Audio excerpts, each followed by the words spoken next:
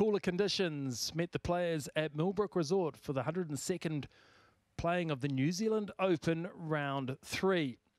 Kazuma Kobori, the amateur from Rangiora, had a very tidy day and finished with a birdie at the last to ensure he's part of the picture heading into the final round. Ikimura-san, he had this at the 13th.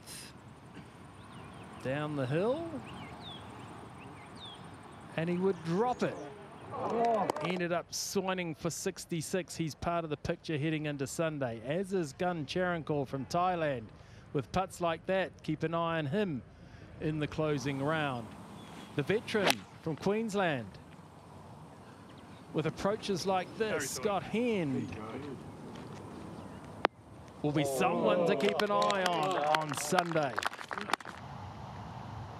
Rhein Gibson added a little bit of spin to this Saturday afternoon as wedge approach to the 17th. Came very close for Eagle. He'll be looking to pick up another victory in quick succession. Kakutsu-san also will be part of the picture heading into the final round with putts like that. But our leader on day one, Chris Wood, well, he found his groove late in the third round with putts like this.